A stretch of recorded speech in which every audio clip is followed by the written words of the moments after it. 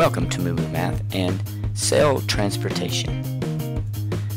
In this video I'd like to talk about how cells move important objects into the cell and waste material out.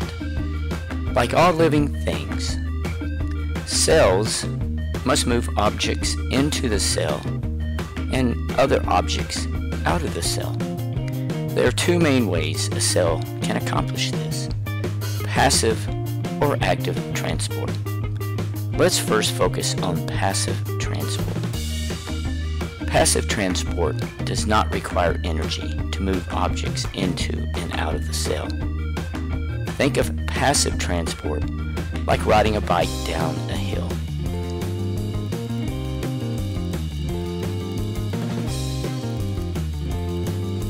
You don't have to pedal, you just coast.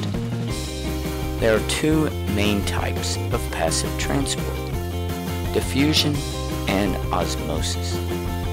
In both of these, objects move from a high concentration to a low concentration.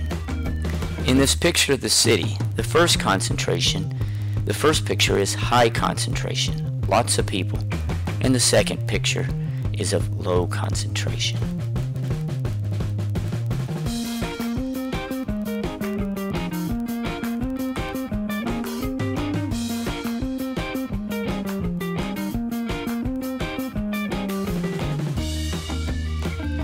Here are two examples of diffusion.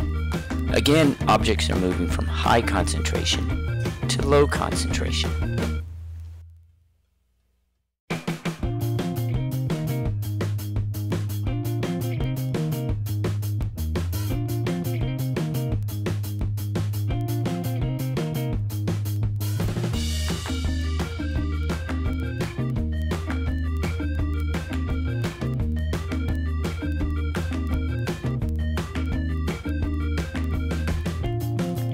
The air in the balloon quickly moved from the high concentration inside the balloon to the low concentration out of the balloon. Osmosis is simply the diffusion of water. Active transport requires energy. It's like riding a bike up a hill. We will look at three types.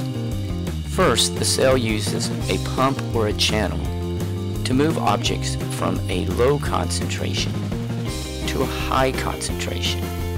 This is like swimming upstream and requires energy. A second method is called endocytosis, in which the cell engulfs the object and brings it into the cell. Check out this picture. And finally, exocytosis is the opposite. The cell expels objects out of the cell. Hope this helps with cell transportation and active and passive transportation. Thanks for watching.